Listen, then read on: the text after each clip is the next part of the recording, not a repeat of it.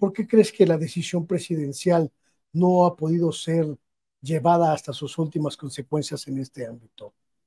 Yo creo, Luis Guillermo, que por algo que comentaba hace un momento. Al presidente, perdón, al presidente no, le, no le interesa llevar a, la última consecuencia, la presión eh, contra el ejército, por ejemplo? No, no, yo creo que sí le interesa al propio presidente de la República porque finalmente es algo que determinará también su propio gobierno. Ese caso y otros de iniciativa pública que él tiene, etcétera, van a marcar este gobierno. Eh, por supuesto, el caso de los 43 ya marcó el caso de Peña, el gobierno de Peña Nieto, porque ser porque fue el sexenio en el que se cometió este crimen de Estado, pero también marcará al sexenio de Andrés Manuel López Obrador como el sexenio en el que se pudo resolver un crimen de Estado o como un sexenio en el que eh, pues siguió impune este crimen. Entonces, me parece que el propio presidente de la República, que le gusta mucho la historia y que él muchas de las cosas que hace, los hace, lo hace con, con precisamente con esta visión de eh, pues hacer algo histórico, me parece que le interesa. Le interesa cómo, lo, cómo va a ser juzgado este sexenio por la historia en esta materia. Entonces yo creo que él tiene una idea, una convicción de, eh, pues sí, de dar cuenta de lo que ocurrió, de que se resuelva el asunto, pero también me parece que eh, hay límites que me parecen importantes, simple y sencillamente, pues porque todavía hay integrantes del Poder Ejecutivo enquistados en determinadas instancias, pues que podrían tener responsabilidad en ello. Y ojo, otra cosa, también el presidente de la República, pues fue eh, de la opinión de que ya no se tendría que estar juzgando el pasado, sino ver al futuro, que no detenerse, porque si se detenía en el pasado, eso le iba a restar tiempo, esfuerzo, etcétera, para lo que le interesaba a él, que ha dicho es la transformación. En este sentido, pues hay que recordar, él tuvo una posición de no enjuiciar a los expresidentes. Eso se tradujo en que la propia población pues lo dejó como que, pues está bien, me vas a consultar, pero si tú de entrada me dices que es mejor que nos concentremos en lo que sigue y no en el pasado, pues no se generó el número de firmas, de participación, eh, para, que, para que se hiciera, pero hay que recordar que era la propia posición del presidente. Entonces, eh, me parece que en este afán de ya no detenerse en Peña Nieto, pues podría pesar para que no se resolviera en su totalidad este, ojalá me equivoque, este, este, este caso, pero yo soy de la opinión que eh, se tendría que resolver, se tendría que saber qué fue lo que ocurrió con los 43 y para que hubiera justicia real, también se tendría que llevar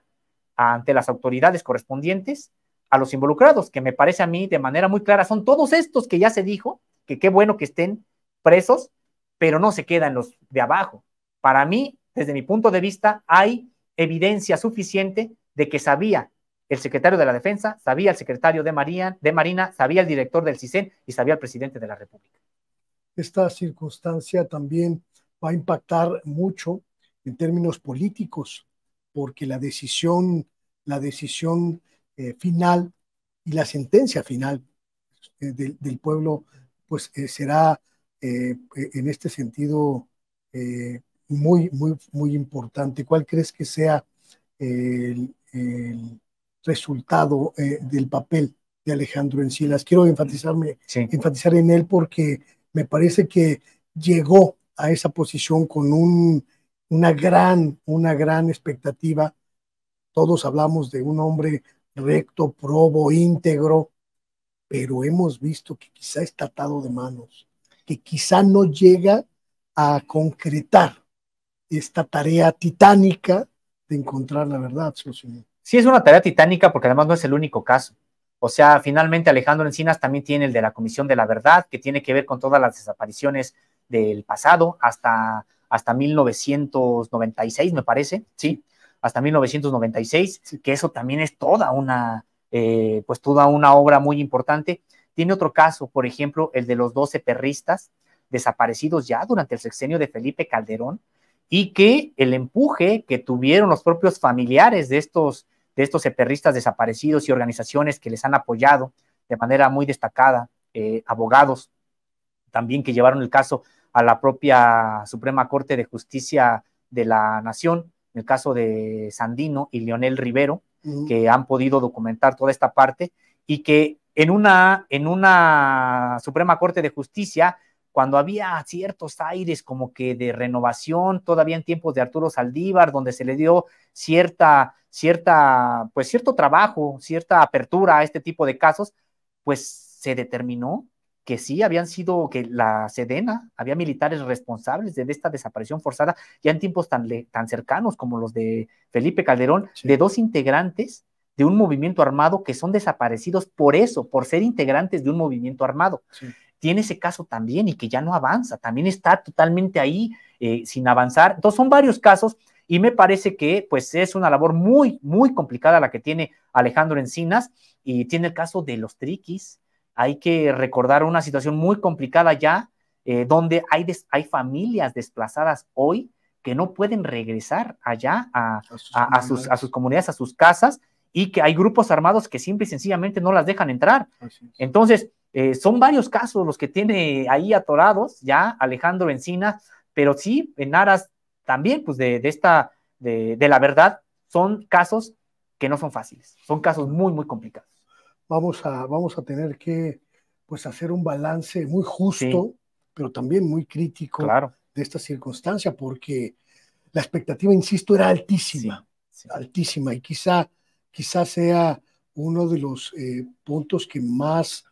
que más eh, dolor causen en, la sociedad mexicana. Y me pregunto, los eh, ámbitos que están alrededor en, esta circunstancia, la secretaria de Gobernación, el secretario de, Defensa Nacional, ¿cómo serán evaluados, Sosimo? Así es, también, porque en efecto tenemos a, pues a los propios titulares hoy, los actuales de la Secretaría de la Defensa Nacional y de Marina, que me imagino para ellos también al interior ha de ser, eh, eh, lidiar con sus propios almirantes y generales, ha de ser complicado. Yo por eso decía, pues sí, es de reconocer, por ejemplo, el trabajo, el, perdón, los documentos que sí han entregado, en este caso la Marina, ese video, eh, por ejemplo, que pues termina por decir, sí, son integrantes de la Marina los que están ahí vaciando los, los, este, los sacos, donde después se sabría que estaba, había restos de un normalista, por ejemplo. Y eh, la información, el entregar a este general hoy, eh, coronel, antes, para que sea procesado, por ejemplo, ya me imagino lo que ocurre en el generalato, al interior de la Sedena, lo, lo que ocurre cuando se entrega a uno de los suyos así, pero pues es que tienen que se tiene que partir de que si quieren ellos mismos salvar sus propias instituciones del descrédito, pues tienen precisamente que entregar a aquellos que obraron mal. Esa es la manera como se tiene que hacer. Entonces, yo creo, eh, Luis Guillermo, que sí también habrá todavía una evaluación del propio trabajo de los titulares de la Sedena y de la Marina en este sentido. Me parece que hay información, hay avances importantes, pero que no logran todavía pues ser completos. Pues es un tema sumamente complejo, sumamente delicado, sumamente doloroso. Quizá es uno de los temas a los que menos me, gusta acercarme precisamente por esta complejidad, pero además por el dolor, el dolor como humano, el dolor como, como mexicano, pero pues eh, ustedes lo están haciendo y de verdad que, que mis respetos, mi querido Sosimo. No, pues mira, Luis pues sí, es un tema muy complicado y es que como te decía, ¿cómo no hacerlo si en efecto desde antes de que ocurriera esta desaparición de los 43, pues en Contralínea estuvimos documentando eh, todo lo que significa este proyecto educativo de las normales, porque también déjame decirte algo, a veces todo se, cuando hablamos de normales rurales, todo se, se enfoca en la desaparición de los 43, pero decir que las normales rurales son eh, escuelas vivas, muy intensas, con un proyecto académico muy importante para este país, que jugaron un papel importantísimo para la alfabetización del México rural, que hay que recordar, Luis Guillermo, en, por ejemplo, en esta época, pues muy complejas de cuando grupos de la ultraderecha se engallaban y estaban en contra de la, distribución de libros de texto gratuitos, cuando estaban en contra también de la educación pública, eh, estos grupos incluso armados, guardias blancas, Recordaremos que históricamente se sabe que colgaban a maestros de los árboles, por ejemplo, por el simple eh, hecho de llegar a implantar una escuela pública. Generalmente, estos maestros que eran, pues sí, sacrificados y todo, eh, en esta situación, eran maestros rurales, egresados de las normales rurales. Entonces, es una deuda que el propio país tiene con las normales rurales muy grande y que este no se reduce pues solamente a esta situación, por supuesto, trágica. Creo que una manera de honrar a los propios 43 es eh, documentar la valía de este proyecto educativo y también empujar algo, Luis Guillermo, que ya estaba y que también no sabemos por qué Artes quedó de lado. Había ya la propuesta de que se protegiera al normalismo rural desde la propia ley, que los cinco ejes del normalismo rural llegaran a la ley, a la constitución mexicana, pues para que fuera difícil realmente desmontar este proyecto educativo. Algo pasó, que se retiró ese proyecto. La propia, de manera muy rara, la propia Comisión Nacional de los Derechos Humanos estaba preparando una recomendación precisamente para que se protegiera al normalismo rural desde las propias leyes. Ya no salió, esa recomendación. No sabemos si por falta de interés hubo otros asuntos que llegaron eh, o hubo alguna indicación en algún sentido, eh, pero me parece que una manera de honrar también a los 43 es velar por estas escuelas que siguen siendo muy importantes para el país. Coincido contigo. Llegamos al final de la conversación, mi querido Sósimo. No, no me resta más que agradecerte esta, esta cátedra sobre lo que está ocurriendo en este tremendo asunto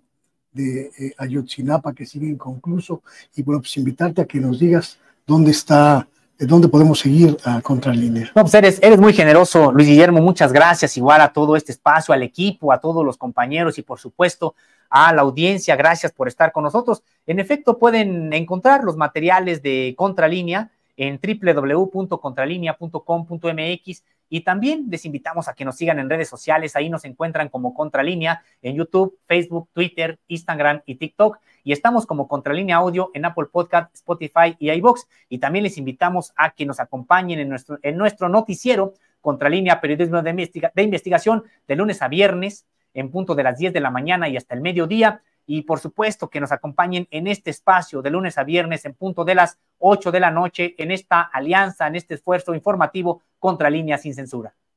Muchísimas gracias, querido Sósimo. De ahí está la invitación. Y usted, usted que nos ve, usted que nos escucha también, está invitada, está invitado a que continúe con nosotros aquí en Sin Censura Televisión. Un poquito más adelante vamos a tener otras otras sorpresas, otros temas. Mientras tanto, le invito a que se quede después del corte. Volvemos.